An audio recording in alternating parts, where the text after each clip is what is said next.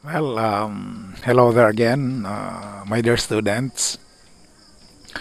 Good morning ulit sa inyo, or good afternoon, or good evening. Ah, depende kung anong oras ninyo pinapanood itong ating ah, pangatlong video. Ito ang um, kapartner na video nung ah, module na na-upload ko na sa ating ah, GC. Uh, what you will do is you're going to download that module, read and study it, and then watch this uh, video no, to enhance your understanding of what is contained in the module. Uh, yan ang gagawin ninyo. No? So, uh, speaking of our third module, uh, this time we're going to discuss uh, the different kinds of uh, descriptive uh, research. If you still remember, in our previous uh, module and in the previous video, we discussed the different kinds of research, no? Yung mga general types of research. So kung naalala ninyo, pinag-usapan natin doon yung mga historical research, descriptive research, experimental research, correlational research, causal research, um, case study, at saka ethnographic research. No? Yun ang iba't ibang uri ng mga uh, researches in general. This time, we're going to talk specifically about descriptive research. Yung descriptive research ay isa yon sa mga uri ng pananaliksik, no? It's one of the general kinds of research. Now, yun namang descriptive research ay may iba-ibang types or kinds there are several kinds of descriptive research and that will be the focus of our discussion uh, this morning. So katulad ng nabanggit na, kailangan ay na-download na ninyo, nabasa na ninyo, napag-aralan na ninyo yung module bago uh, panonoorin itong video para lalong maintindihan. Ito naman ay dagdag na paliwanag lang, dagdag lang na discussion nung nandoon sa module. Okay? Um, well, katulad nga ng nabanggit ko kanina, our discussion will focus on descriptive designs. Uh, and for this particular module, our objectives are as follows. At the end of this module, you should be able to do the following. First, you should be able to describe each type of descriptive research. And you should also be able to differentiate each from all others. Kailangan madi-describe ninyo yung iba't ibang uri ng descriptive research. Kailangan mo rin siyang ma differentiate. Ang ibig sabihin ay maipaliwanag kung paano siyang naiiba doon sa ibang uri ng descriptive research. Okay? So let's talk about this. Uh, descriptive designs. Balikan muna natin yung descriptive design no? or descriptive research. In our previous discussion, doon sa ating lesson uh, number 2, we learned that the descriptive design of research uh, aims to give us a picture of the present situation or the present condition.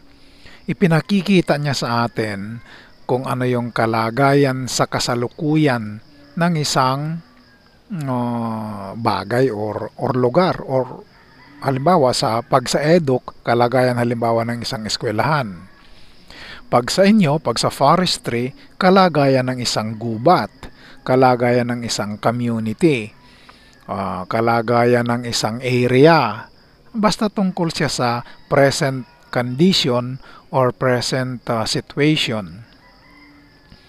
And the purpose of descriptive uh, design is to find new truth mga bagong katotohanan, mga bagong knowledge. Um, this new truth may come in the form of ito mga bagong knowledge na ito, ito mga bagong kaalaman ay pwedeng nasa anyo ng increased quantity of knowledge, karagdagang information, karagdagang kaalaman nga, no?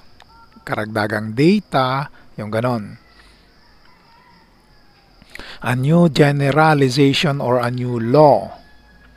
Increased insight into factors which are operating. The discovery of a new causal relationship and a more accurate formulation of the problem to be solved. Um, so if we are going to look at it, the purpose of uh, descriptive research is to give us a deeper and broader understanding of the current situation, the current condition of whatever it is that is being studied.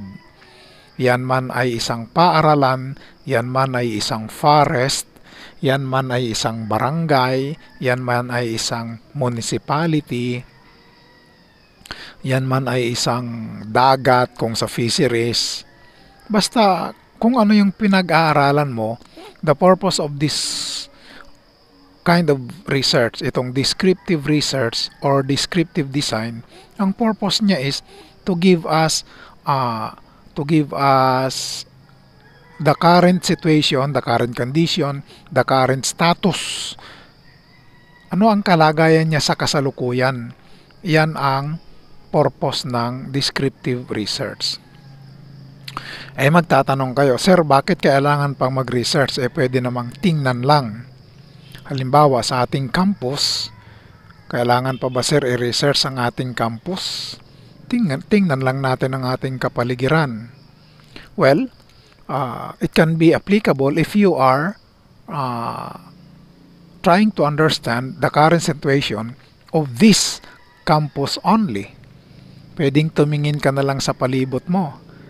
However, if you are studying many campuses, halimbawa lahat ng campuses ng RSU, ay kailangan mo doon ng masusing pag-aaral. Kailangan talaga may research para maintindihan mo yung kanyang current or present situation, yung kanyang present condition.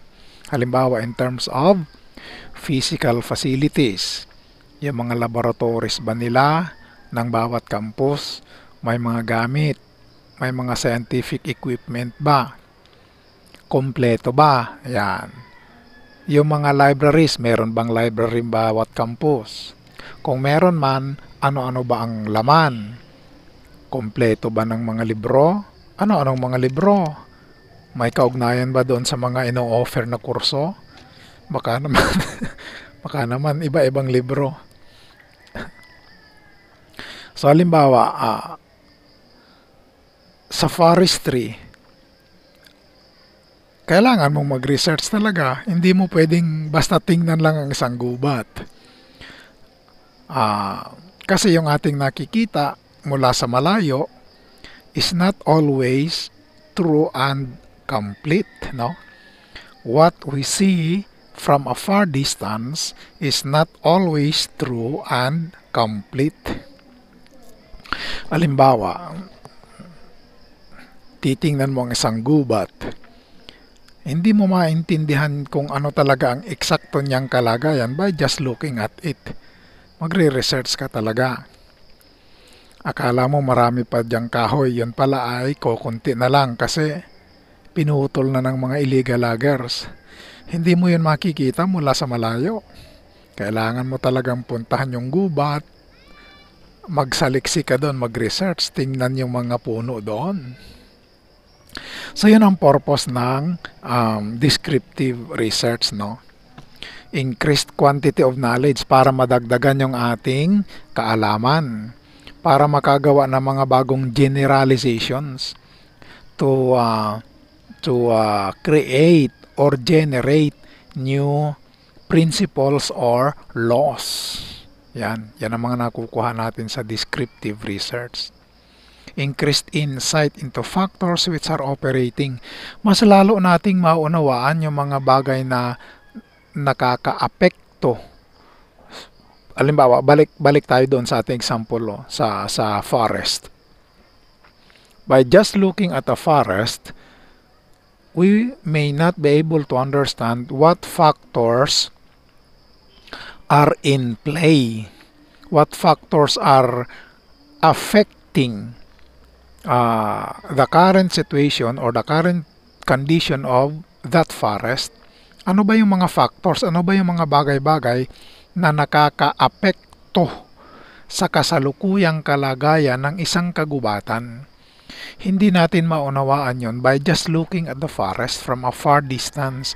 Kailangan talaga nating gumawa ng pananaliksik. Magre-research talaga tayo. Kapag tayo'y nag-research na, yon, we will gain increased insight. Ang ibig sabihin class ay lalo nating mauunawaan, lalo nating maintindihan yung kanyang kalagayan. Para bang isang tao lang, no? Kung titingnan lang natin ang isang tao, we will not see, we will not understand what he is going through in life. Di natin alam kung ano yung pinagdadaanan niya sa buhay, ano yung kasalukuyang problemang pinapasan niya. Kailangan, ng, kailangan nating magsaliksik, kumbaga kailangan mag-research. Kailangan natin siyang kausapin, kailangan natin kausapin yung mga taong malalapit sa kanya. Ganon din sa research, no? Kaya nga, mahalaga ang pananaliksik. Research is very important because it will give us uh, deeper insights, mas malalim na pagkakaunawa, deeper understanding of a situation. Descriptive research uh, can also give us uh, more accurate formulation of the problem to be solved. Meron tayong problema, meron tayong problem na gustong masolve. Halimbawa, balik tayo sa forest. Bakit kaya kumukunti itong kahoy dito sa gubat na ito? Sa pamamagitan ng research, malalaman natin kung ano talaga yung problema, mas maintindihan natin yung mga causes, yung mga dahilan kung bakit may problema ng ganon, and then we will be able to generate more effective solutions to those problem. Dahil naintindihan natin yung problema, mas makakapag-isip tayo ng mas magagandang mga uh, solutions para sa problems na yon. Uh, descriptive design will also give us uh, a better understanding or discovery of a new causal relationship. Alam, naalala niyo yung sinabi natin about causal relationship. Yan, no? Ah, teka, ayaw sumulat. Yan. Causal relationship. From the word cause. Ano kaya ang dahilan? Ano kaya ang cause? Ano kaya ang reason why this is happening to this particular forest. Kasi nagkakamatay kali mga kahoy dili. Ano kali kag dahilan? Ano kag cause? So by doing by doing research, specifically descriptive research, mas maintindihan natin yung cause. Mas maintindihan natin yung dahilan, yung mga reasons why something is happening. So all in all, yan po ang ibig sabihin ng descriptive research or descriptive design. Yan. Bakit uh, mahalaga ang descriptive research or descriptive uh, designs of research? Well, descriptive studies are valuable because, meaning they are important because of the following uh, reasons. First, they provide facts on which scientific judgments may be based. Katulad nung sinabi ko kanina, no, uh, we cannot understand something by just looking at it. Kailangan talaga nating mag-research. Bakit? Kailangan nating makakuha ng data, kailangan nating makakuha ng information, kailangan nating makakuha ng mga facts, mga detalye baga, so that we can make judgments para tayo ay makagawa ng uh, mas ma ano ito mabuting mga decisions kung ano ang gagawin tungkol sa kasalukuyang sitwasyon. Halimbawa, may problema sa isang barangay, may problema sa isang uh, forest. Paano natin maintindihan kung ano talaga ang nangyayari sa forest na yon? Kukuha tayo ng data, kukuha tayo ng mga information, yung gagawin natin yon that's already uh, part of descriptive research. Descriptive studies also provide us with essential knowledge about the nature of objects and persons. Mas lalo daw nating naunawaan uh, ang kalagayan, yung naturalesa ng mga bagay at mga tao. And so therefore, ako may tumigil na motor sa aking tabi klaso. Hindi ko alam kung nakukuha ng microphone ang tunog ng kanyang motor. Maraming mga sound effects dito sa palibot ko class. May motor, may nagmamartilyo doon banda. May kumakanta pa doon banda ka na Christine, no? Si Christine nga siguro kina magpapakawangay. Kuman pa kinat kaya kanta. Adyang kaganda magkanta. nagbibideo ka eh. Anyway, uh, siguro naman mas lamang ang aking boses kasi mas malapit ako sa microphone. Oh, ay. Pagkakanta oh. Okay, so ano yung sinasabi ko nina? Ang dami kasing commercial eh. They provide essential knowledge about the nature of objects and persons palampasin muna natin yung motor. They provide essential knowledge about the nature of objects and persons. Through descriptive research, we acquire knowledge, we acquire information, we acquire data, we acquire facts.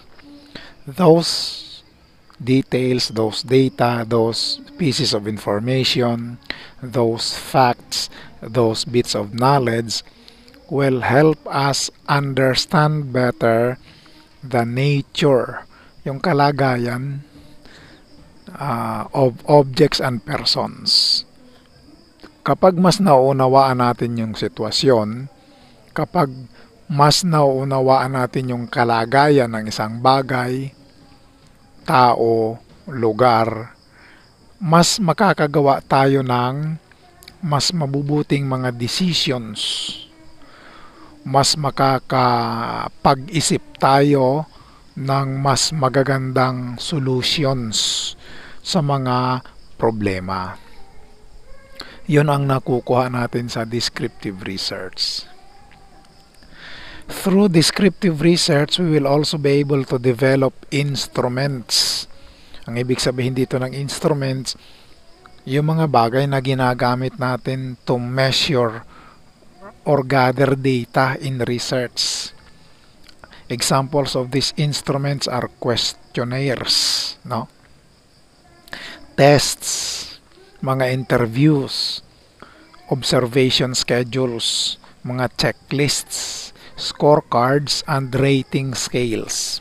Ang tawag dyan sa kanila sa research ay instruments. They are used to gather data. So, by doing descriptive research, we'll be able to uh, develop new instruments, better ways of gathering data and information from our respondents. Yan po ang mga dahilan kung bakit mahalaga, kung bakit importante ang descriptive research. These are the reasons why descriptive studies or descriptive research is valuable or important. Okay. So let's talk about the different types of descriptive designs. 'Di ba sabi natin kanina, descriptive research is of different kinds or types. Ano-ano ngayon itong mga uri or klase ng descriptive research?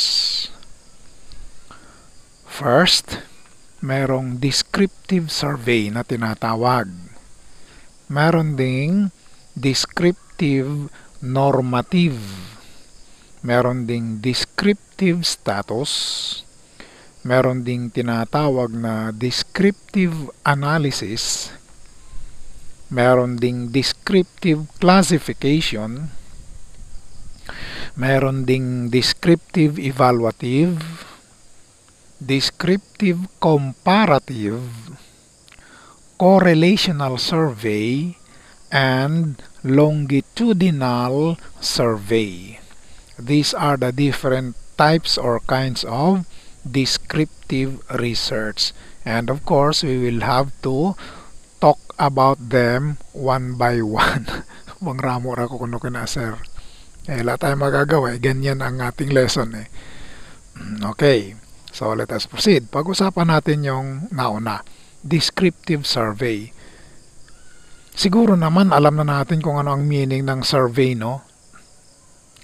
Sa ating barangay, kung minsan may mga umiikot na tao, nagsa-survey, ano ang ginagawa nila? naga nagagather ng information about us, di ba? Halimbawa, census, survey yan. Ang call, pila kunog mo anak, ah, 12 doy. Pila kunog kayake, pito. Pilag kabade, lima. Baog ka ang call, buko, uga ako asawat baog. De, joke lang. Ganun pa nagsasurvey, no? They get information from from the people. Uh, one time merong pumunta sa bahay, eh, nagsa-survey kung yun nga, ilan daw ang aming anak, uh, kung nag-aaral, uh, ilan ang babae, ilan ang lalaki, yung mga ganun, ilan ang edad ko, ilan ang edad ng asawa ko, yung ganun. Ginagamit po kasi itong baseline data ng ating gobyerno. Based from the data that we that they will gather, the government will make policies They, they will make laws. Gagawa sila ng mga batas, mga polisiya, mga regulasyon na susundin ng tao. Bago sila gumawa ng batas, meron muna dapat silang information about the people. This information can be gathered through survey. So pag sinabing uh, descriptive survey, tayo ay nagre-research tungkol sa yun nga, present condition. Ano ang kasalukuyang kalagayan ng gubat sa balogo? Magso-survey. Hmm. Mapagto sa mapagto sa forest, pupunta ka sa gubat no and then titingnan mo. Ay dala kang listahan, pilang bilog dili kag nara. 1 2 3 ah, tatlo yang eh. Pilang bilog kag hinagasi, 1 2 bakaramo pa, 14 pa. Oh, paano sinatrag ko? Eh, mo, uh, sukaton. Paano trag ko ka mga trunks? Susukatin mo yun kasi survey nga eh. Ano, anong iba pang mga species ang nandoon? Yung gahagtot mga kukot amo. Alam niyo yung kahoy na ang tawag sa kanya ay kukot amo. ano, ano yung mga ibang species pa ng kahoy sa gubat? Yun lang ang alam ko eh. Yung mga hinagasi. Kasi yun ang palagi naming binibili sa mga loggers. Pag may pinapagawa sa bahay, bumibili kami sa mga loggers. Hindi ko alam kung illegal, illegal sila or legal. No? Basta ang alam ko, sila ay loggers. Kasi nga ay bumibili kami sa kanila ng kahoy na panggamit sa bahay. So, ganun ang survey, no? You gather information. So, kung survey tungkol sa population, bibilangin ng barangay kung ilan ang tao sa barangay. Ire-report yon sa munisipyo. Iko-consolidate ng munisipyo. malalaman ngayon kung ilan ang tao lahat sa Calatrava. Yung munisipyo naman, yung LGU ng Calatrava, ipo-forward naman yun sa provincial government. Iko-consolidate ulit ng provincial government. So malalaman kung ilan ang tao sa Udjongan, sa Calatrava, ilan sa San Andres. So in the end, we will get uh, the data for the entire province. Malalaman natin kung ilan ang tao lahat sa buong probinsya ng Romblon.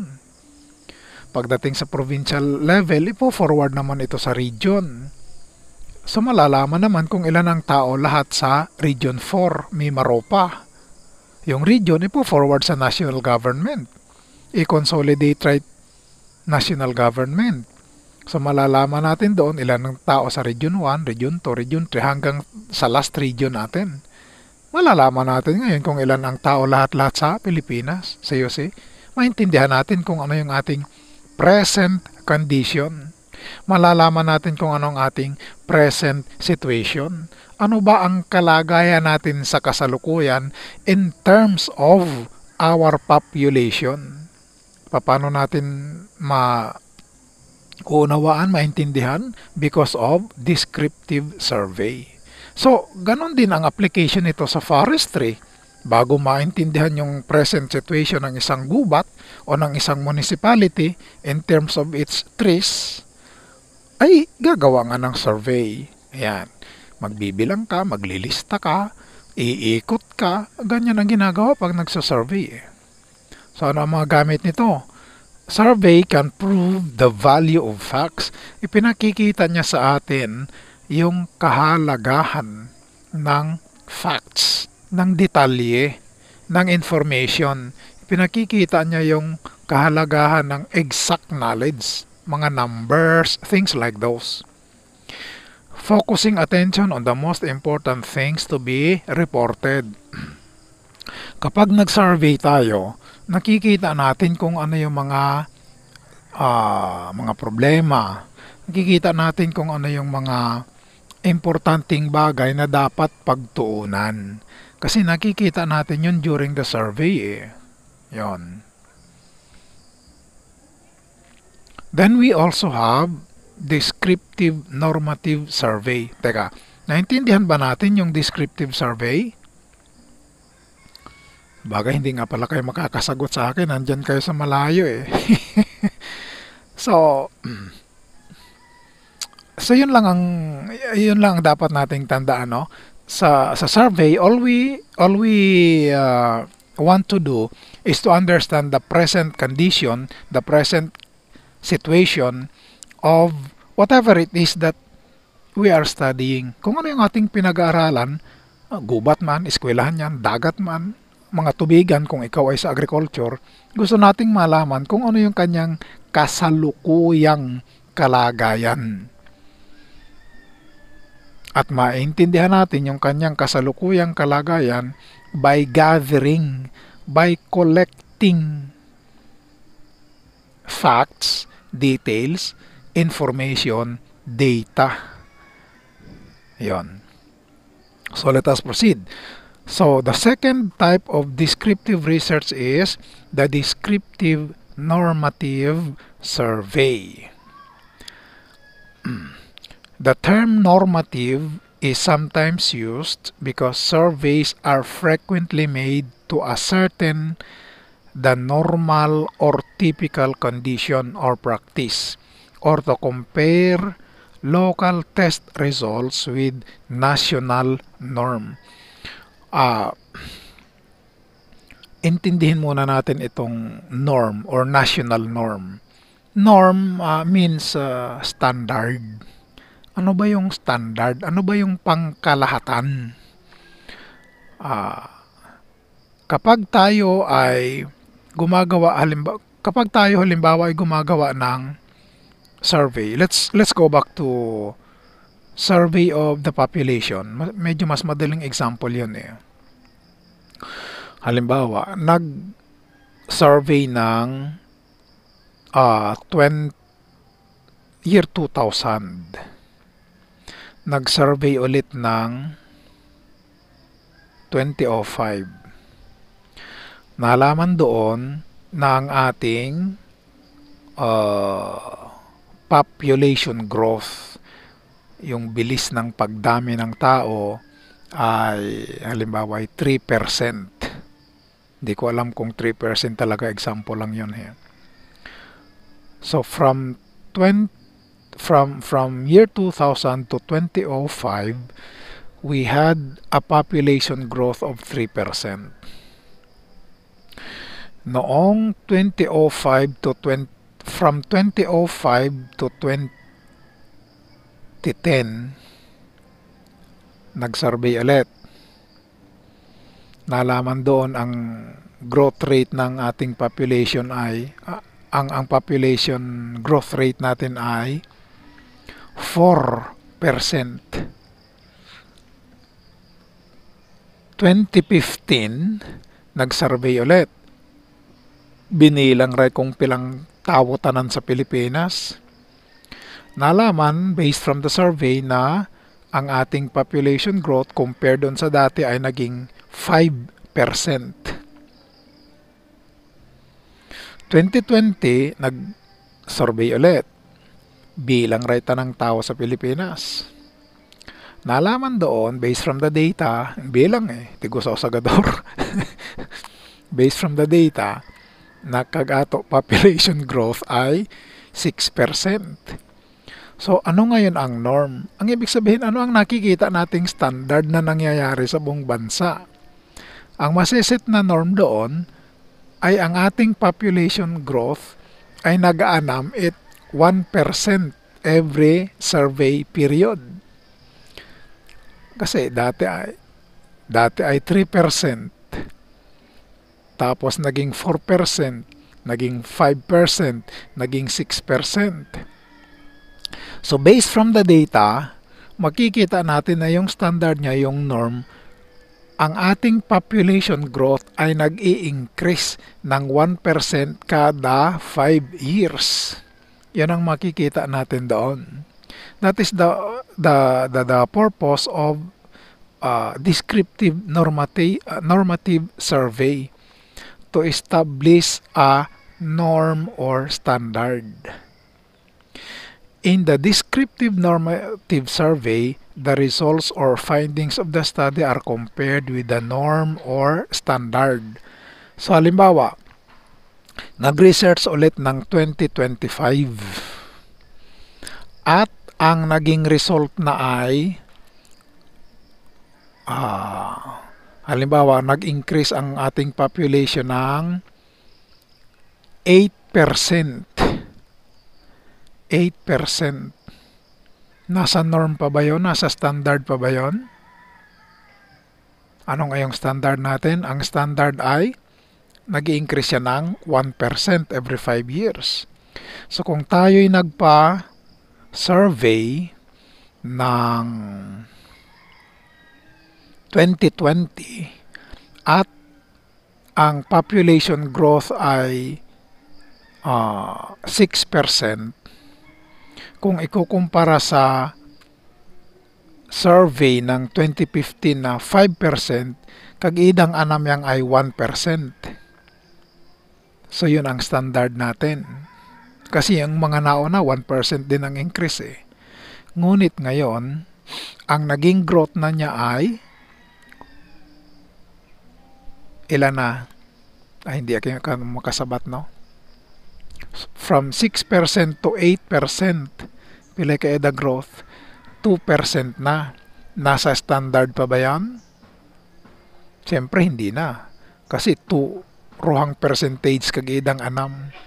So mas mataas siya ngayon kaysa doon sa standard or sa norm. Gagawa ngayon ng action ang gobyerno para mapigilan ang sobrang bilis na pagdami ng tao. Gagawa ng mga batas, gagawa ng mga policy sa barangay, bawal magpakaanak. yung mga ganon yun. That is the purpose of the descriptive normative survey uh, survey results are compared with the norm or standard, no? Ganyan yan. Anong application nito sa forestry? Ay, ganun din. Ah, halimbawa, ah, growth rate ng mga kahoy. Gaano kabilis lumaki ang ah, kahoy. Mayroong standard yan eh. Kaya mayroong norm. Kaya nga alam natin na ah, within 5 years, itong manggang ito, dapat ito'y namumunga na. Ah, within 10 years, itong kahoy na ito dapat ay harvest, harvestable size na ito. Pwede kalimpokanon, pwede na kumano na lumber. Itong seedlings na ito, kailangan within 1 year, malaki na ganito na, 1 meter na. May standards yan. Kaya napipredict yung kanilang paglaki. Ay nagtanong ka et kahoy, limang tuig eh, ay usang rangaw yang gihapon kay dataas. Asi nga naanam kaling kahoy na kali dapat kali ay ruhang metroy. Si wala siya sa standard, wala siya sa norm. Isip ka ngayon, ano yung mga dahilan kung bakit siya ay napandak, naputot, naigoy. O, yon. Okay, let us proceed. Meron din tayong tinatawag na descriptive status. Kahawig ito nung descriptive survey, no? Ah, basahin ko muna no. This approach to problem solving seeks to answer questions to real facts relating to existing conditions. This is a technique of quantitative description which determines the prevailing conditions in a group of cases chosen for study. Dugo ilong ninyo no dugo, dugo din ilong ko eh. Yamawi nga ni turugo dilo sa ako palibot to. Simplihin natin ang ating usapan mga kapatid. Ano ang ibig sabihin ng status? Magumpisa tayo doon sa familiar na sa atin. Relationship status ninyo sa Facebook. Oh, anong nakalagay doon, di ba? In a relationship with Tarpulano, yon paglalaki in a relationship with Esperanza. Ayan, mga examples lang yan ha. Uh, meron namang relationship status na is it's complicated. it's complicated ko no. So, kapag tinanong ka, ano ang status mo ngayon? Ang, ang tinatanong yun, class, ay ano ang kasalukuyan mong kalagayan ngayon? Ano ang status mo sa buhay? Ano ang kalagayan mo sa buhay? Kumusta naman ang status mo in terms of schooling? Ano ang kalagayan mo patungkol sa iyong pag-aaral? Yan. Ano ang status ng relasyon nyo ngayon? Ano ang kalagayan ng relasyon nyo ngayon? Yan. So, status is just another word for present condition, present situation. So, ano ngayon ang gamit nito? Sabi ko nga kanina, kahawig ito ng survey. Kasi kapag magre-research ka, descriptive status design ang gagamitin mo, kukuha ka rin ng data, no? To determine prevailing conditions in a group of cases chosen for study para malaman mo kung ano ang kasal kasalukuyang kalagayan. Let's let, let us have an example. Gubat ulit, uh, forest. Ano ang kasalukuyang kalagayan? What is the present status of this particular forest in terms of halimbawa ay uh, diversity of species. Ano ang kalagayan ng gubat na ito kung ang pag-uusapan ay yung pagkakaroon ng iba't ibang uri ng punong kahoy? Paano mong malalaman yon? Di ba pupunta ka doon, titingnan mo at ililista lahat ng mga species, lahat ng mga uri ng kahoy na nandoon. Ba, yung kahagtuot nara o? Aba, meron pa doon, no? Adi, rohay ka eh. Bibilangin mo lahat ng nara. Bibilangin mo lahat ng hinagasi. Bibilangin mo lahat ng uh, na bakit wala na akong alam na ibang kahoy? Meron ba mga kwan doon? Mayroong nga ipil ba? Hindi ako marunong sa gubat eh. Bahala na kayo mag-isip ng mga species ng kahoy ha. Basta ang ibig kong sabihin, to, to, to understand the present status of a forest, you have to go there and gather data. No. Di para ka na rin nag-survey, no? Pero yung survey kanina, uh, the purpose is to gather data for for um, policy formulation. Halimbawa, yung gobyerno nga nagpa-survey ng population para makagawa ng batas para sa uh, populasyon kung paano mapipigil ang sobrang pagdami ng tao. Dito naman sa descript, descriptive status, uh, tinitingnan kung ano yung mga prevailing conditions. So makikita mo doon sa yung ginawang research, ang pinakamarami palang kahoy sa gubat na ito ay, uh, halimbawa ay, halimbawa ay nara, oh, or hinagasi. That's the prevailing condition. At saka itong mga hinagasing ito ay marami pa, healthy pa sila, malalaki sila, kaya kailangang pangalagaan against illegal loggers. So you see, based from your research, makakagawa ka ng mga uh, solutions to problems. So, yon ang descriptive status, no? through through data gathering you will understand the present situation or uh, the present condition of a particular forest or a particular uh, ecosystem pwede mo ring tingnan kung ano yung kasalukuyang status no uh, ng gubat in terms of diversity of animals na nandoon meron pa kayang mga hayop sa gubat na yan paano mong malalaman? Research ka ulit. Descriptive status. Punta ka doon sa gubat. Mag-set up ka ng mga camera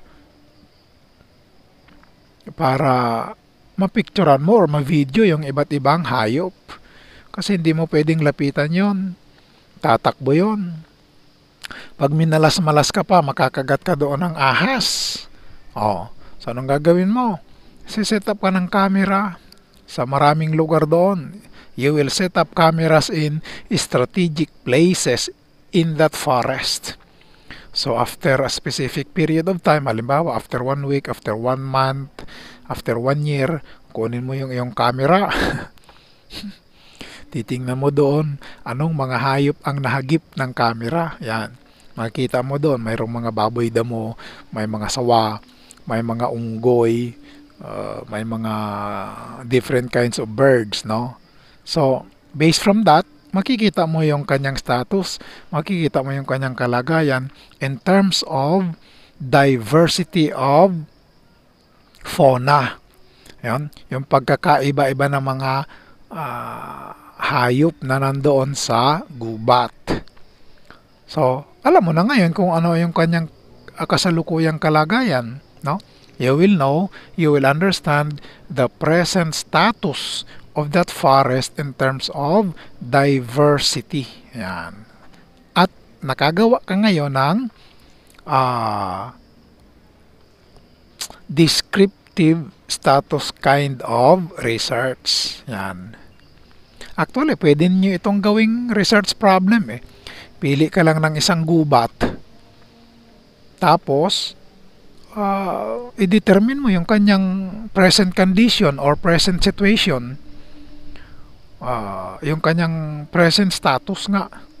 Ano ang magiging gamit noon? Ano ang kanyang magiging significance? Ano yung kanyang magiging value? Well your research can be forwarded to the LGU pwedeng gawin siyang basihan pwede siyang gawing baseline data ng munisipyo para yung ating munisipyo, yung ating mga municipal leaders mga sangguniang bayan, mga mayor at vice mayor natin, makagawa sila ng mga batas, makagawa sila ng mga policies to protect our forests. Makikita doon sa ginawa mong research. Ano ang kalagayan ng gubat na ito? Ay nako, kung na pala ito. Marami ng puno ang pinutol, wala na halos hayop. Ah, gagawa ngayon ng resolution sa sangkunang bayan. Bawal na ditong kumuha ng kahoy. Bawal dili mag um, mag-hunt, no nga ni kaling hunting sa ato, mag mag uh, mangaso, no? ng mga hayop. So, ganun yun. Descriptive status. Okay. Faculty, ay sa IDOC yan, State University or Cal, never mind that. Let us proceed. So, we have descriptive analysis. Uh, this method determines or describes that nature of an object by separating it into its parts its purpose is to discover the nature of things. The researcher should determine the composition, structure, or substructure that occur as units within a larger structure. Okay. Pag-usapan natin ito mga kapatid, no? When we analyze, we break into components something uh, pinaghihiwa-hiwalay natin yung uh, mga parts, mga components ng isang bagay para natin maintindihan kung papanong kung, kung paano siya nagpa-function, kung paano siyang nag-ooperate. Parang ganito. Uh, gawa tayo ng example, no? Mag-umpisa tayo sa makina para maintindihan natin kung paano nagpa-function, kung paano nag-ooperate, kung paano gumagana yung isang makina, paghihiwa-hiwalayan natin, paghihiwa-hiwalayin natin yung kanya mga parts. Halimbawa, makina ng motor. Paghihiwa-hiwalayin natin yung kanya mga pyesa, yung kanya mga parts, titingnan natin kung papanong ang bawat part ay nagpa-function at kung ano ang kanyang contribution to the overall operation of the machine. So, bawat part, eh, pag-aaralan. Halimbawa, yung gatusang pyesa, ano ang function ng pyesang ito sa pag-operate ng motor na ito. Hmm. Halimbawa, yung, yung motor ko, ang kakatot mga sprocket, mga kadena, gat mga mga kambyada, gat mga kung ano-ano na. So, kung gusto nating maunawaan yung kabuuan, tingnan natin yung function ng bawat part. Ano ang function ng kadena? Ah, ganito pa lang ginagawa niya. Ano ang function ng sprocket? Ah, ganito pa lang ginagawa niya ay yung iba pang mga parts doon. Ano? Ah, charaki kalaki inra function. Tuyaraki kalaki kag inra gamit. Kada nagaandar ituyar kali kag motor. So you see, ganon po ang naga-analyze. Pinaghihiwa-hiwala yung kanyang mga components. Halimbawa, sa eduk ulit sa English, halimbawa, di ba palagi ninyong na, eh, na-experience ito sa high school noon at kahit ngayong college na, sabi ng teacher ay, let us analyze the story. Yun, mag-analyze daw ng kwento. Anong ginagawa doon ng teacher? Ano ang ginagawa ninyo as a class? Di ba pinaghihiwa-hiwalay ninyo yung mga elements or components of the short story? Ano ulit yung mga elements of the short story? Meron kayong mga characters, meron kayong plot, yung mga pangyayari sa kwento, plot ang tawag doon. Yung mga characters naman, yung mga tauhan. Then meron kayong setting. Itong setting, yung lugar at panahon na pinangyarihan ng kwento. So, yun ang kanyang mga elements, no? Mayroong mga tauhan, mayroong tagpuan, at mayroong mga pangyayari. So, kung gusto mong maunawaan yung kwento, pag-aaralan mo, you will study its component, yung mga tauhan. Sino ang mga tauhan dyan? Ano-ano ang kanilang kaugnayan sa bawat isa? papanong ang bawat isa ay nakatulong sa pagsulong ng kwento. Yan. Pagkatapos noon, pag-aralan mo yung setting. Ano ba ang kaugnayan ng setting sa kwento? May kaugnayan ba yung panahon at lugar doon sa kwento? Nakatulong ba siya to advance the story? Yung mga pangyayari doon, anong umpisa, ano ang katapusan? Ano man nangyari sa kwento? So, bawat isang component, bawat isang element, pinag-aralan mo. And then you put them all again together. Maiintindihan mo ngayon yung buong kwento. You will have a deeper understanding of the story. You will have a better appreciation of the story because you already understand it. Ganun po ang nag-a-analyze. Ano ang application nito sa forestry? Balik tayo sa example natin, yung gubat. Yung gubat, hindi lang naman puros puno yan. Diba? Hindi lang puros kahoy. Merong ibang tanim dyan na hindi naman kahoy. Gahin at mga halimunon, gahin at mga buyak, gahin at ng mga, mga pitsi-pitsing tanom. But they are all part of the forest. Diba? Hindi lang naman puro nara sa gubat. Kung minsan nga merong nagtatanim pa ng balinghoy at mais eh. Nagkaingin tong hagoy. Bawal yun. Kaingin, no? Bawal yun. So sa gubat, mayroong mga kahoy, meron, di, meron ding mga tanim na hindi kahoy, pero tanim sila at sila ay bahagi ng kagubatan. Sa gubat, mayroon ding mga hayop. So you see? Gubat yon. So, hindi lang puros kahoy ang inyong tinitingnan sa gubat. May mga hayop yan. May mga ibon. No? And all of these creatures are part of the forest.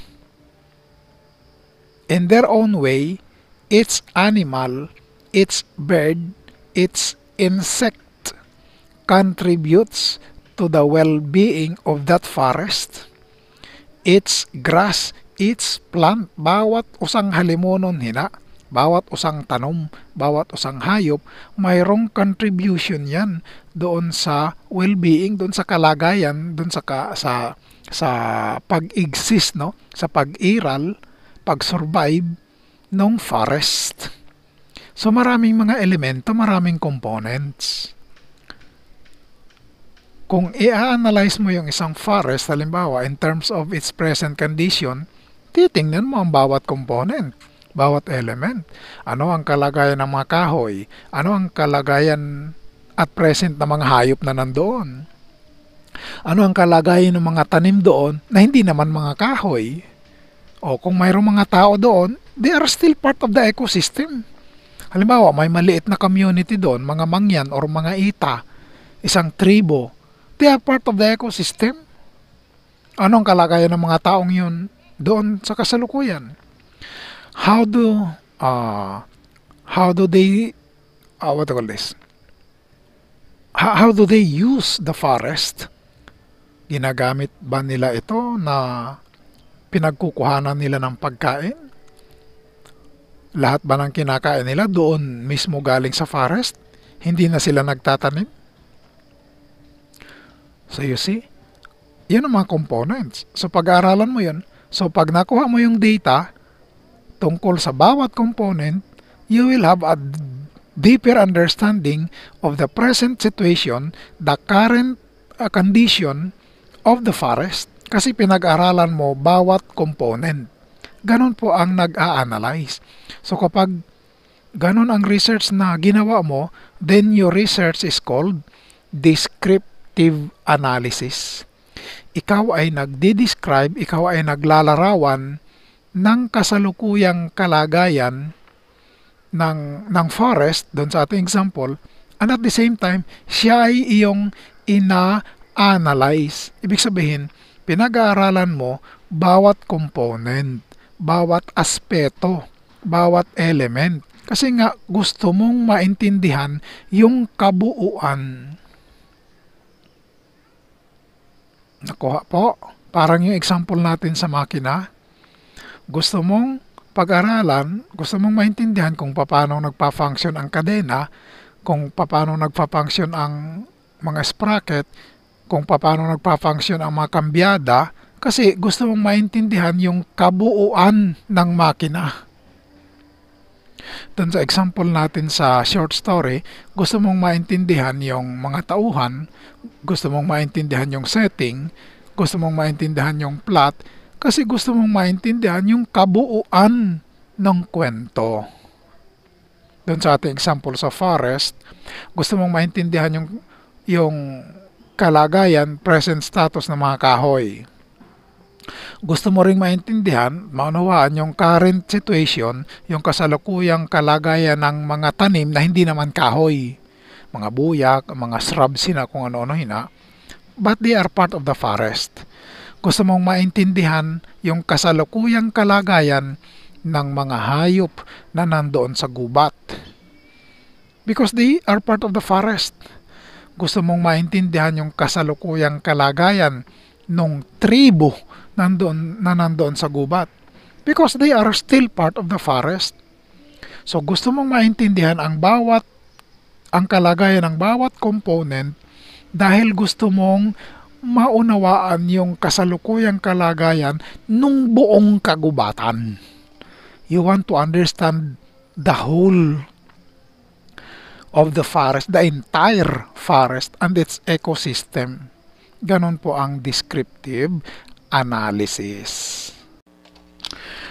Okay, uh, let us proceed. Dali lang, kain muna ako ng strepsil sa mga kapatida. okay. Medyo kasi nagdadry ang aking throat eh. Okay, uh, the next type of descriptive research is descriptive classification. Okay. This method is generally employed in natural sciences such as botany, zoology, bio, biology, ichthyology, no? Sa mga isda yan, no? Conchology, yung mga, yung mga shells, and others. The specimens collected are classified from phylum to species. um, proceed muna tayo sa kwan. Tapos i discuss natin.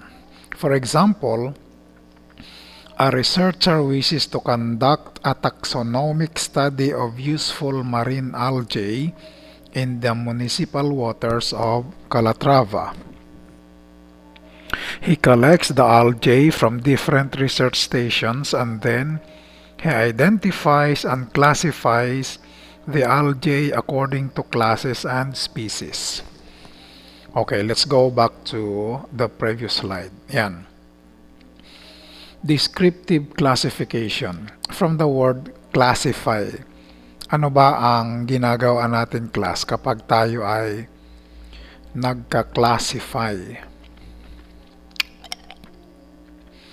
Halimbawa, um, nagpa-harvest it mangga kagi mo ang call iyapar ka tong inro manggahan eh sampo yung ektarya eh, nagpa-harvest. Sabi ng uncle mo ay ah, oy pamangkin ko paki-classify ang mga mangga. Ano ang gagawin mo? Pag nagka-classify tayo we group together things that belong together based on a criteria. We group together things that go together based on a criteria. So halimbawa, doon sa sinabi ng uncle mo na i-classify yung mga mangga, ano ang mga criteria na pwede mong gamitin para sila pagsamasamahin. Unang-una siguro, based on uh, variety. Yan ang una mong gagawin. Pagkaklase klasihin mo yung mga mangga according to variety. So, yung kanyang mga klase. Gagawin mo ngayon, lahat ng mga kinarabaw o sang tumpok. Kasi isa silang variety. Magkapare-pareho sila in terms of variety. Silang lahat ay kinarabaw na mangga. Yung susunod na hahanapin mo yung iba namang variety. Yung mga piniriko, tanang piniriko, imo apisanon. Isang tumpok ulit yung lahat ng mga piniriko. Yung lahat ng mga apple mango, isang tumpok din sila. Yung lahat ng mga kinabay, meron bang kinabayo na mangga? Kasi merong kinarabaw eh. Pag merong kinarabaw, baka meron ding kinabayo. I'm not sure about that class. Ang joke lang ako. Halimbawa, mga Indian mango. Oh, isang tumpok din sila lahat. Because they belong together based on variety. Pare-pareho silang lahat na Indian mango. So, after ma-classify mo sila, meron kayong, meron ka ngayong iba-ibang tumpok ng mangga. Sa banda roon, isang tambak na kinarabaw. Sa banda roon ulit, isang tambak na piniriko. Sa banda roon, isang tambak na apple mango. Sa banda roon, isang tambak na Indian mango. Ganyan po tayo kapag tayo ay nagka-classify. Pinaghihiwa-hiwalay natin pinapangkat-pangkat natin ang mga bagay-bagay base sa isang kriteriya. Mayroon tayong pinagbabasihan uh, sa pag-classify. Kapag sinabi sa inyo na i-classify ang mga estudyante sa RSU Calatrava, pagpapangkat-pangkatin mo sila based on a criteria. Halimbawa, pwede natin isang, silang i-classify by gender. So, lahat ng lalaki, isang group. Lahat ng babae, isang group. We can also classify them according to program, according to degree. So, isang group yung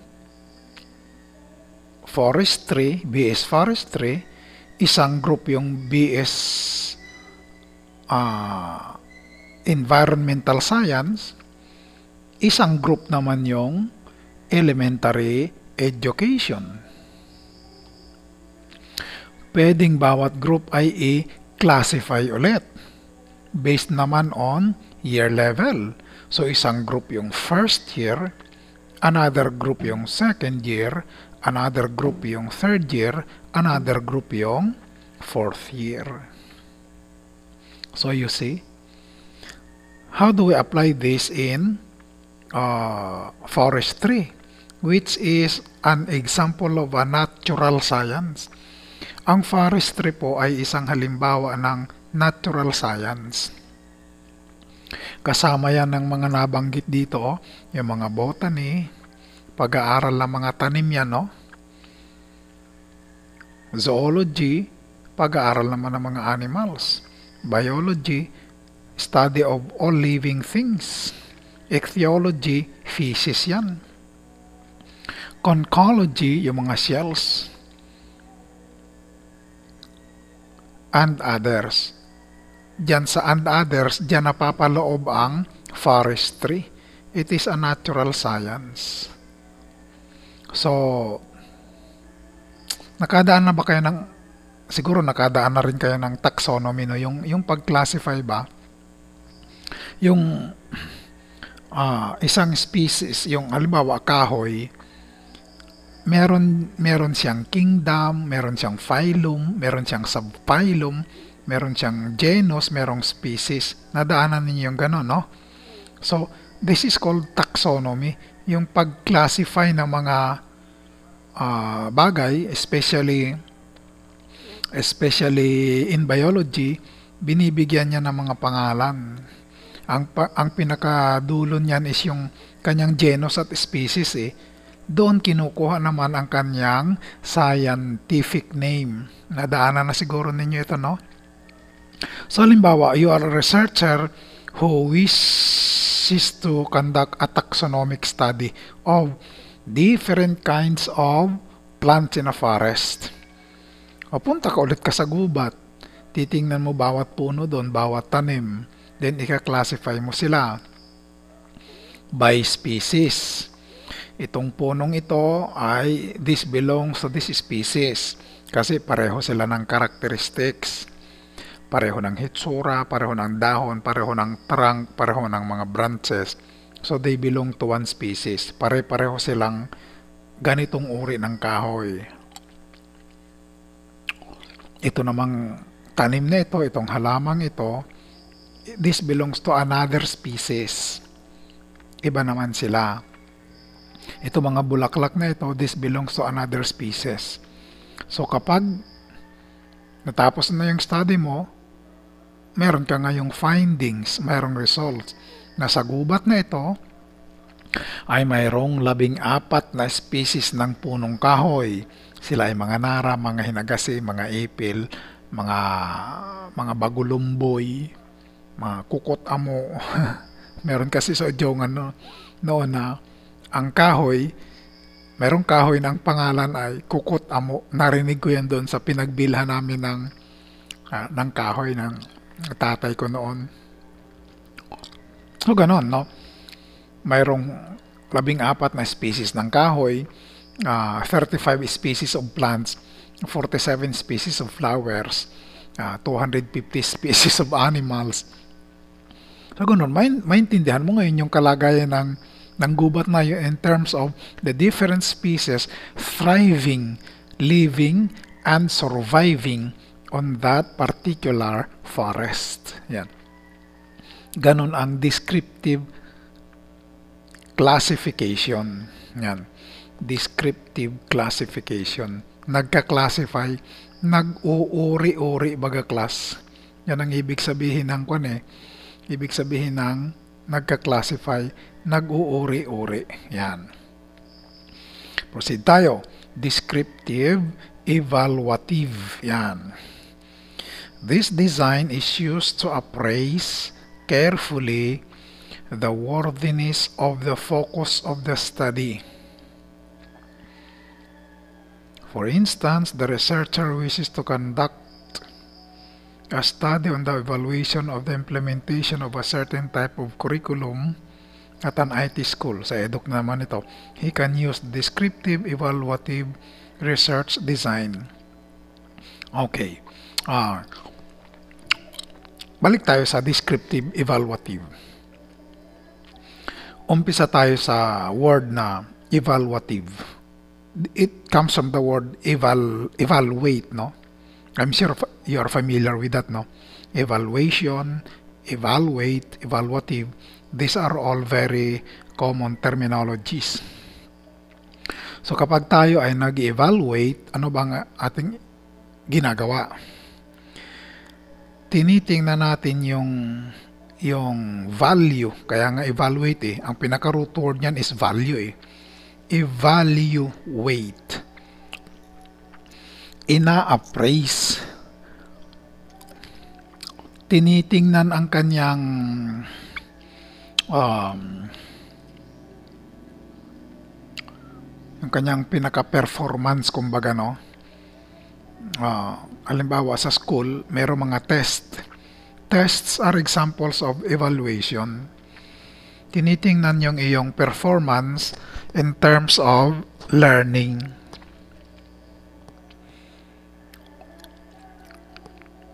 To determine the performance of a, a program, an activity, whatever it is, you need to evaluate. Mm, Halimbawa, ano, uh, isip tayo ng example sa forestry. Ano ang ini-evaluate natin dyan? Halimbawa, tree planting program. halimbawa ang munisipyo nagpa tree planting. We selected an area uh, and we planted we planted uh, say 10,000 seedlings. 10,000 nara seedlings. Teka sobrang dami na yata yun eh. Ay kunyari sa buong Calatrava no 10,000 seedlings. After halimbawa ay 5 years. Sabi ng kasalukuyang ni ng mayor yung yung mayor natin 5 years from now ang ibig kong sabihin. Sabi niya okay let us evaluate our tree planting activity in terms of say survival. Ibig sabihin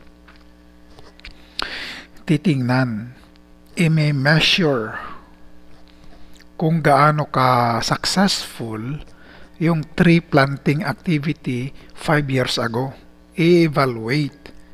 Ang isang paraan nito, titingnan kung doon sa itinanim na 10,000 seedlings ay ilan ang nabuhay.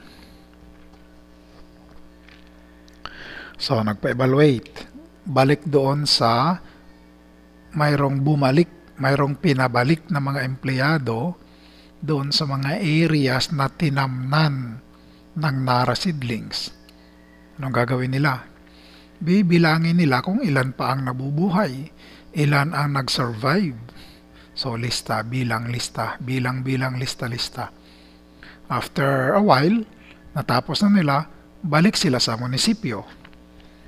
Tapos sasabihin nila, Mayor, out of 10,000 seedlings,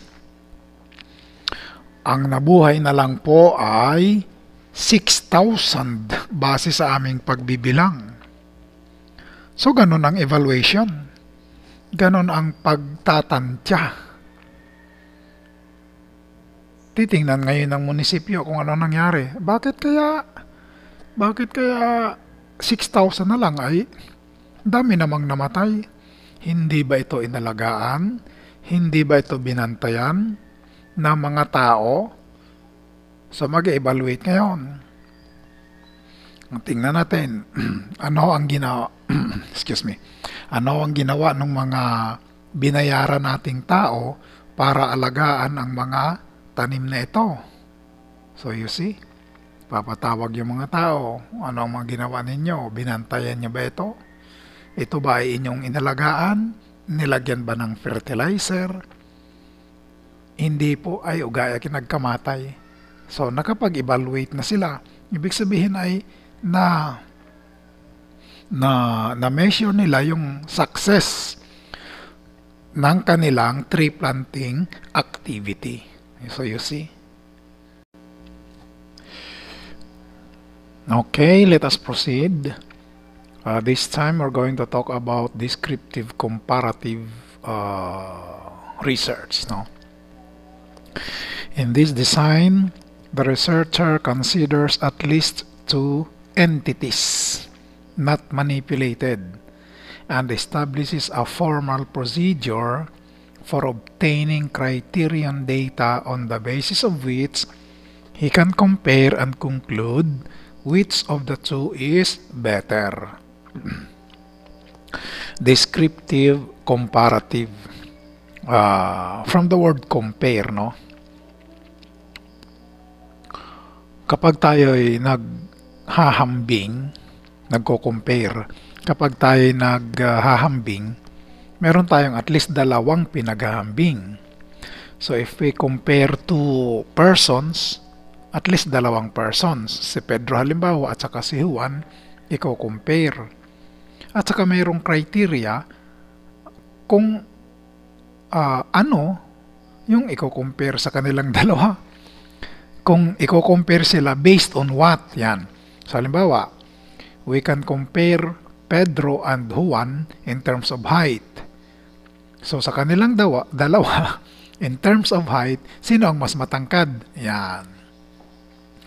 Pwede rin silang i-compare in terms of weight. Sino sa kanilang dalawa ang mas mabigat?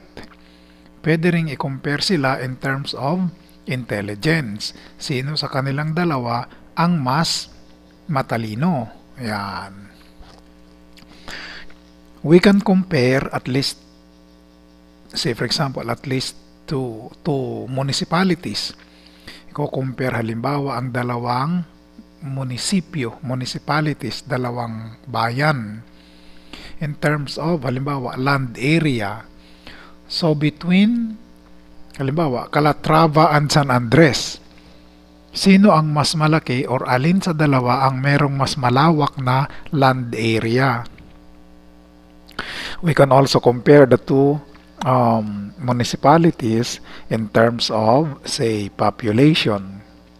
Meaning, alin sa dalawa ang mas maraming tao. So you see, ganyan po tayo pag tayo ay nagko-compare. Uh, pinaghahambing ang dalawang entities. So kung magko-compare tayo ng dalawang gubat, halimbawa, gubat sa balogo at gubat sa pagsangahan, ano ang pwede nating uh, paghambingin sa kanilang dalawa? Unang-una, dami ng kahoy. In terms of species, alin sa dalawa ang mas maraming species ng kahoy? Baka mas maraming kahoy nga sa pagsangahan pero poros hinagasi.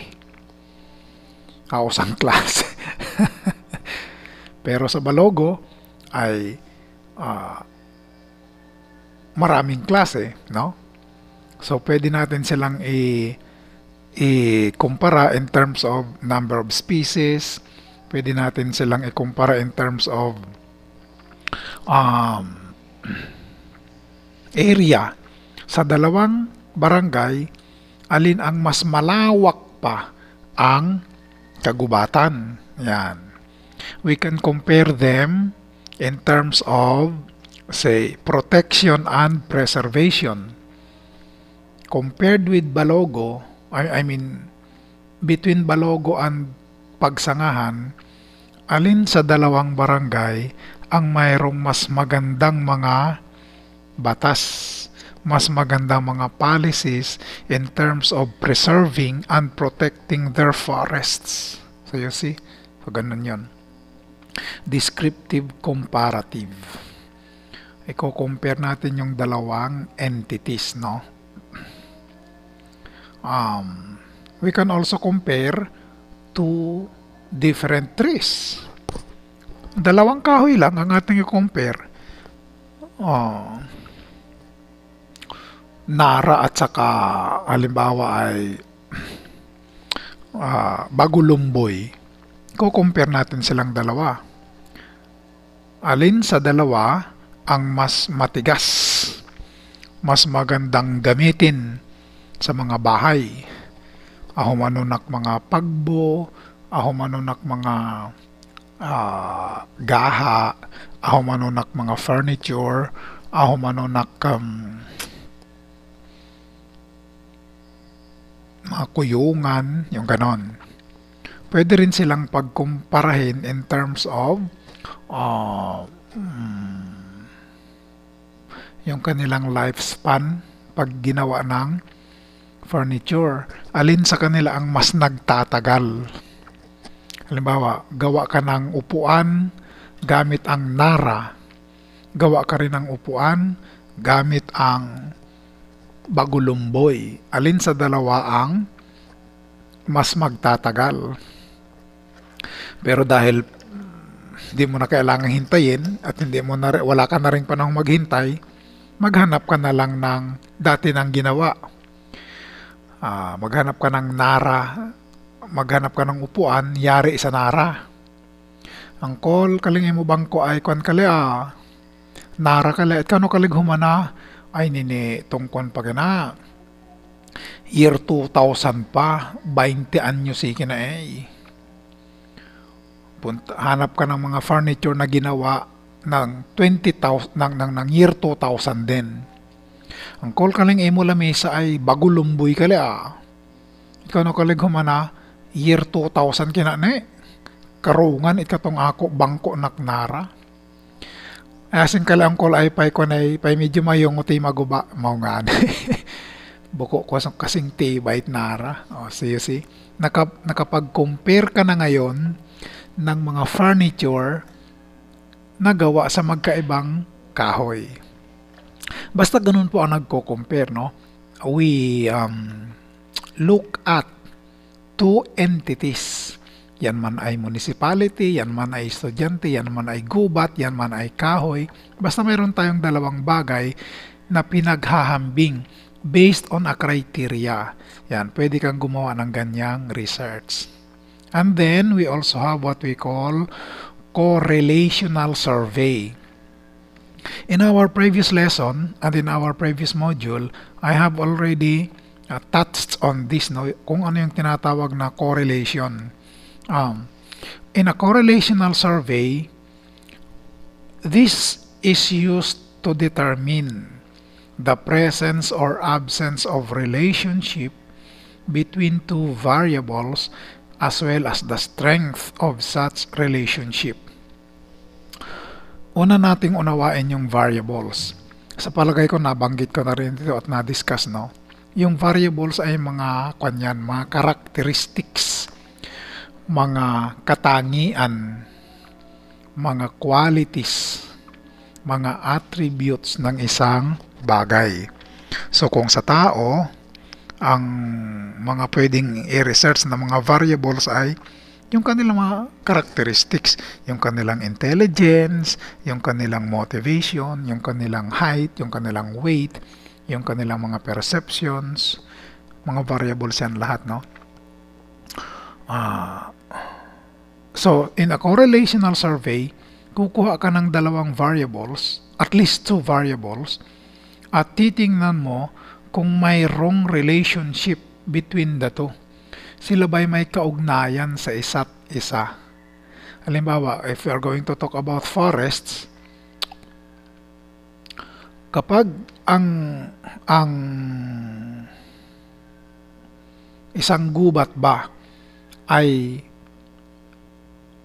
malayo sa mga tao, mayroon bang kaugnayan yun sa kanyang health as a forest? Ang ibig sabihin, kapag malayo ang gubat sa tao, siya ba ay healthy? Compared with forests that are near human settlements. Halimbawa, mayroong mga tao dyan na nakatira, inggahin at banwa, inggahin na et barangay, inggahin at tribo, mayong sa ida, compared doon sa forest na malayo sa mga tao,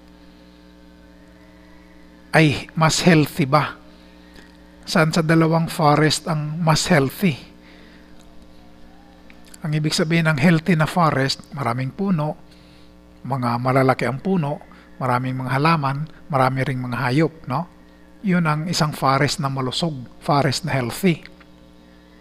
Yung isang forest na healthy, yung may pagkamalnares, kukunti lang ang puno, kukunti lang ang halaman, kukunti rin lang ang mga hayop. So, ang titingnan mo doon, ang kino-correlate mo doon ay yung health ng forest at distance sa mga tao. Iko-correlate mo sila. Titingnan mo kung habang uh, lumalayo yung forest sa tao, habang lumala habang lumalayo yung kanyang location ba, hindi hindi lumalayo na nag-aandar tong forest o nagpapanaw tong forest. Ibig sabihin ay yung kanyang location kung malayo ba sa mga tao ay mas healthy kaysa sa mga forests na malapit sa mga mayroong mga nakatirang tao katulad ng barangay, katulad, katulad ng tribo, katulad ng isang bayan. So, magsasurvey ka ngayon ng mga forests. Kuha ka ng sampung forests, Dahil sampu yan, siyempre, iba-iba yan ang distansya galing sa tao. Yung iba dyan ay malapit sa tao, yung iba ay malayo sa mga tao, yung iba ay katamtaman lang, iba-iba ang kanilang distansya. So yun ang isa mong variable, distance mula sa mga tao. Ang susunod, ang pangalawa mong, pangalawa mong variable ay yung health ng forest. So, kaya compare mo ngayon yung iyong data. Titingnan mo yung iyong data. Siyempre, mayroon ka mga measurements yan. In terms of distance, madali lang yan. Bibilangin mo lang kung ilang kilometro mula sa mga tao yung isang gubat eh. Doon sa health ng forest, yun ang medyo madugo ang data. Uh, yung bilang ng mga kahoy, bilangin mo isa-isa yun. I-measure mo sila in terms of height, sizes of trunk, para magkaroon ka ng data para sa iyong variable na health of the forest. Titingnan mo ngayon kung habang lumalayo ba, habang yung distance from people increases, ano ang nangyayari doon sa health ng forest? Siya ba ay nagiging mas healthy o mas nagiging malnourished? Makikita mo yun dyan sa iyong data eh. Ganon po ang isang correlational survey. Tinitingnan mo yung interaction between two sets of data. No? Titingnan mo yung nangyayari sa isang group of data habang mayroong nagbabago doon sa another group or another set of data. Yan. Uh, oh, ito. Kuha natin ito ha. I-discuss natin ito. Alam kong ito ay sa linya ng EDOC, no? Pero gusto kong i-discuss ito para lalo nating maintindihan kung ano yung tinatawag na correlational survey. Kasi kapag nakuha natin yung konsepto, kapag nakuha natin yung idea ng correlational survey, madali na natin itong maa-apply sa forestry. Although yung binigay ko kaninang example, sa forestry yon. Gusto ko lang itong idagdag para lalo nating maintindihan yung concept. So, ito halimbawa ng research, no? Nutritional status and academic performance among elementary pupils in the municipality of Calatrava. Sabi natin kanina, in a correlational survey, you should have at least two variables. Dito sa research na ito, mayroong dalawang variables. Ang una ay yung nutritional status ng mga elementary pupils. Ang ibig sabihin ng nutritional status, their health status. Gaano sila kalusog. Yan. Ang pangalawang variable ay academic performance. Itong academic performance, kung gaano sila kagaling sa school. Ang measurement nito, ang indicator nito ay usually grades.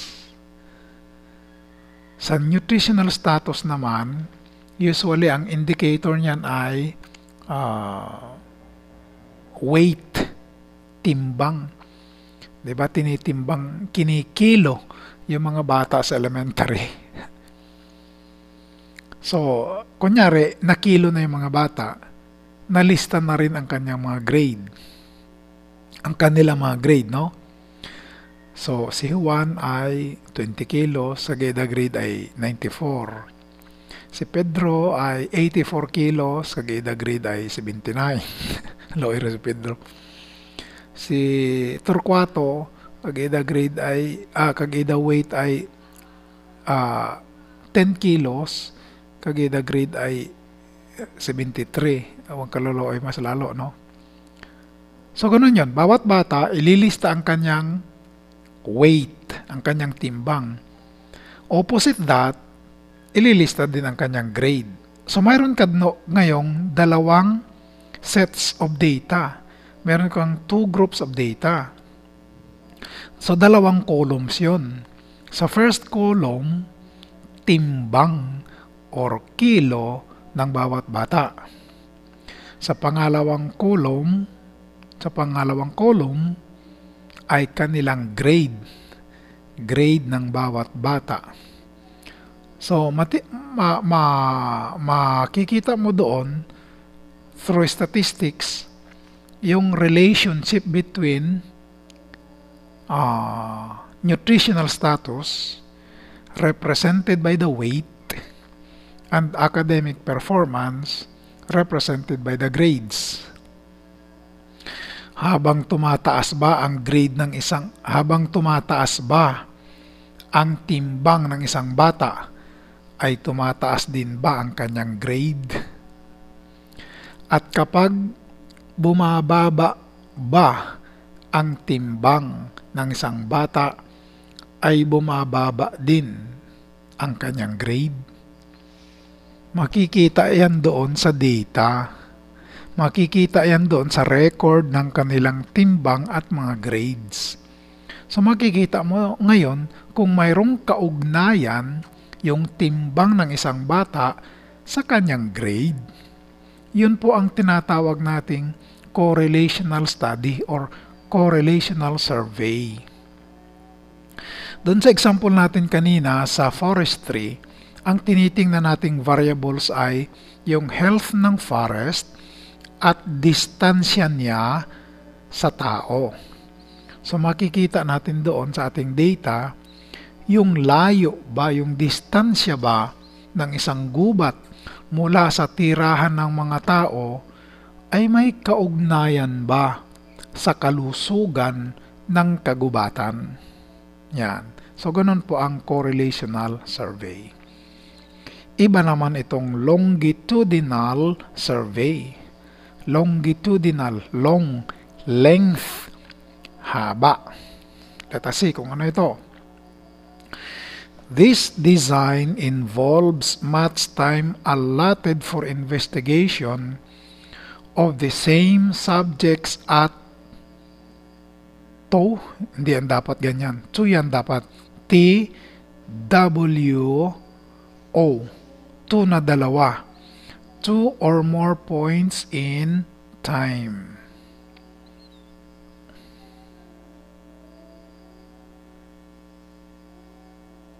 Again, again, again, again. Ulit.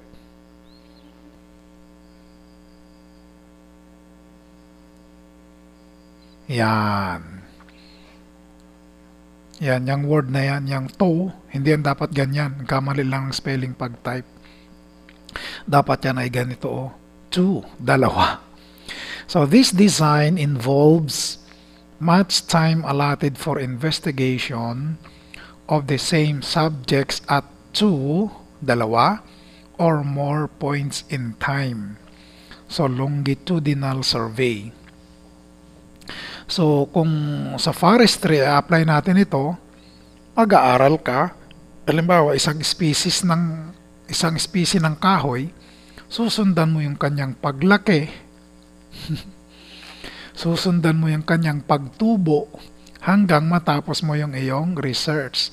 Halimbawa, specific species of Nara, gusto mong i-document kung paano siya lumalaki, ano yung mga factors affecting its growth, things like those, no? Uh, yun, kakanda ka na, gagawa ka ng longitudinal survey. Susundan mo siya, idodocument mo siya mula pagtanim hanggang, halimbawa, ika 5 years niya. So, yung, yung uh, study will last for 5 years. Longitudinal survey. Halimbawa, gusto mong pag-aralan kung uh, nagbabago ba ang ang uh, epekto ng epekto ng halimbawa um, smoke or pollution sa kahoy, ano ang mangyayari? Gusto mong tingnan. Ano ang mangyayari kung yung isang kahoy ay na na-expose sa uh, sa usok for 5 years? Ano ang mangyayari sa kanya? Halimbawa, isang puno ng nara, nagano ka nag experiment merong factory dyan malapit sa inyo. Gusto mong malaman ano ang epekto nung usok nung factory doon sa itatanim mong nara. Tanim ka ngayon ng nara. So, nagumpisa na rin mag, magbuga ng usok yung factory hanggang lumaki yung nara hanggang umabot siya ng 5 years ano ang nangyari sa kanya? I-document mo yan, lahat yon. Yan, longitudinal survey. Uh, susundan mo yung kanyang paglaki, no? Document mo siya pagtanim, kung anong picture, lista ka ng mga data, yan, yung kanyang length, yung kanyang height, ganon. After, uh, after 6 months, picture ka ulit, lista ulit, sukat ulit. After another 6 months, sukat ulit, lista ulit, picture ulit, video ulit. Yan. Hanggang umabot ka ng 5 years. So for 5 years, ay yara tungot-tungot ka hanggop it osok. Tungi mo nara.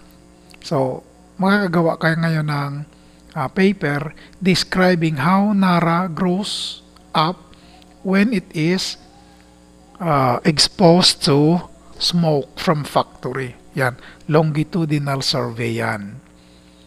Uh, longitudinal kasi pangmahabaan siya, no? pangmatagalan. Isang research lang yon pero inabot ng 5 years. Hindi ito pwede sa inyo kasi isang semester lang ang available na time sa inyo. Huwag kayong gagawa nito. Okay, uh, i-erase muna natin itong mga nakasulat dyan. Yan.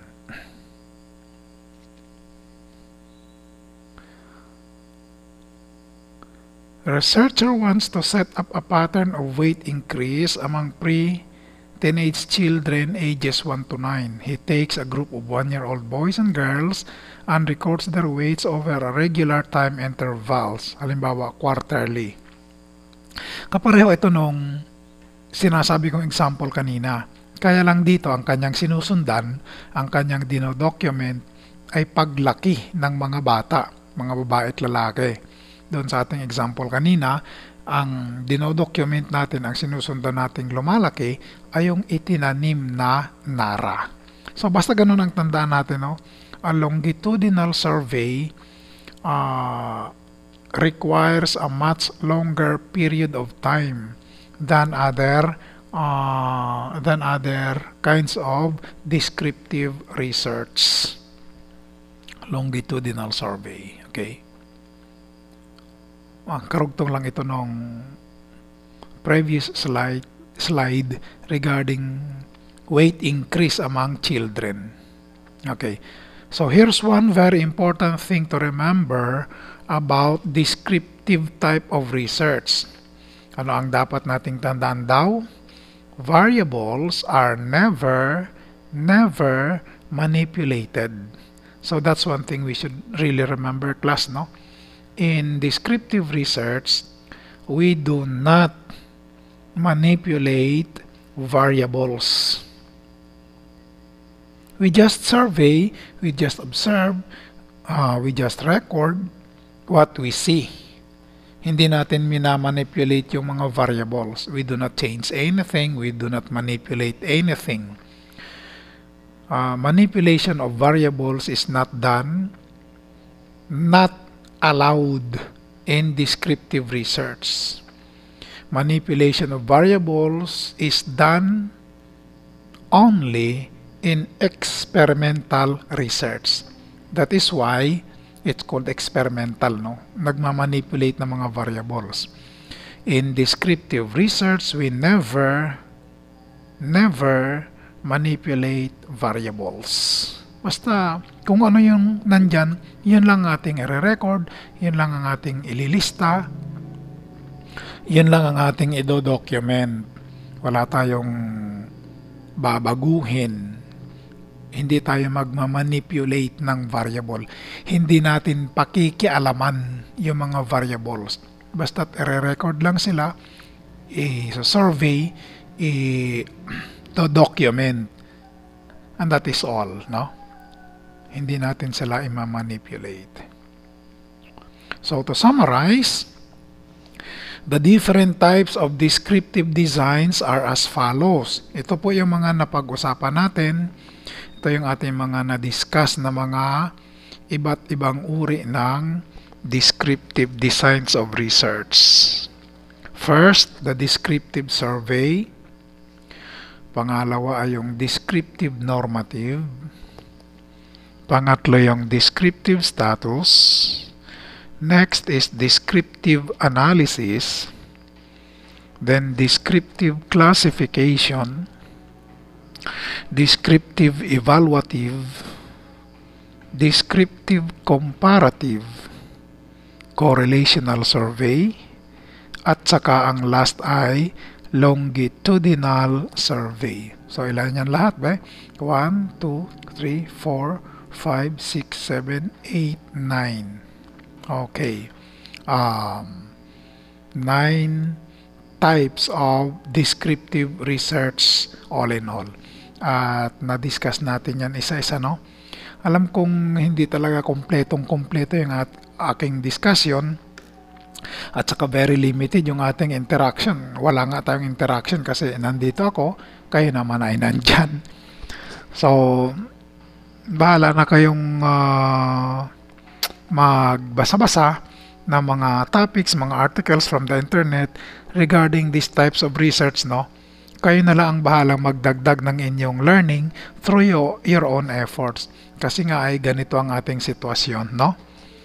Uh, okay, the, diyan nagtatapos ang ating discussion uh, regarding the different types of descriptive research, no?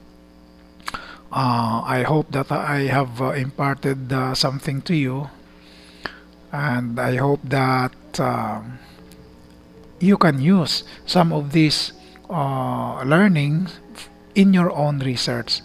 Kung mayroon kayong magagamit sa inyong thesis ay mabuti, no? Kung wala naman ay ayos lang, at least natuto kayo kung ano-ano yung mga iba't ibang uri ng descriptive research.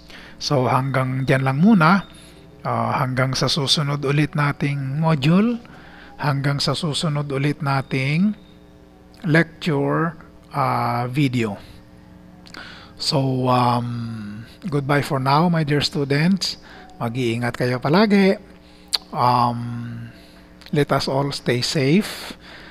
God bless everyone.